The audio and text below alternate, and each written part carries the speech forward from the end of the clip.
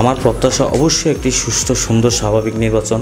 আমি প্রত্যাশা করি যে এই কুমিল্লা শত শত বছরের এই ঐতিহ্য যে ধারণ করে আছে, যে প্রতীকী কুমিল্লা, সেই প্রতীকী কুমিল্লাতে বিগত দিনে যে নির্বাচন হয়েছে, সেই নির্বাচনগুলোতে শতভাগ সুস্থ হয়েছে।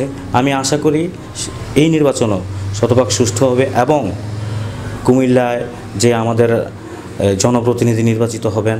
তার কাছে আমার প্রত্যাশা একটাই থাকবে যে কুমিল্লাতে একটা সময় মাদক এবং সন্ত্রাসের স্বর্গরাজ্যে পরিণত ছিল। আমরা সেই মাদক এবং সন্ত্রাসের জনপদ হিসাবে কুমিল্লায় পরিচিত পরিচিত ছিল। সেই আস্তে আস্তে সেইগুলি কমে আসছে। আমি আমার এই আজকের এই জনপ্রতিনিধির কাছে যিনি নির্বাচিত হবেন, অবশ্যই উনি সৎ সৎ এবং যোগ্য প্রার্থী নির্বাচিত হবেন। তার কাছে আমার প্রত্যাশা থাকবে যেন এই মাদক এবং সন্ত্রাসীদের বিরুদ্ধে উনি একটি সোচ্চার সোচ্চার একটা আন্দোলন গড়ে তোলে।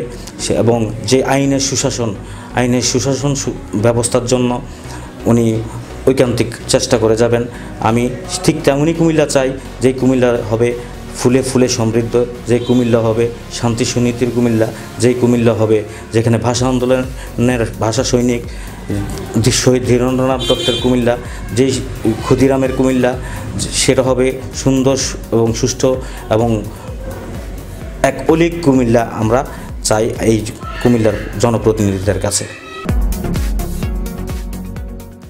কুমিল্লার আরও ভিডিও দেখতে চাইলে সাবস্ক্রাইব করে পাশে থাকা বেল আইকনটি ক্লিক করুন। যারা ইতিমধ্যে সাবস্ক্রাইব করেছেন জাগো কুমিল্লায় আপনাকে স্বাগতম।